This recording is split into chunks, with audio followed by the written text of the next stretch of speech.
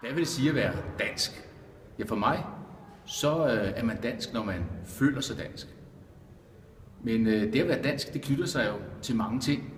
Og vi tænker måske på lidt forskellige ting. Jeg tænker måske på Grundtvig og H.C. Andersen. Jeg tænker på det blå hav og grønne skove og gule marker. På vores øh, herregård. På vores kongerække.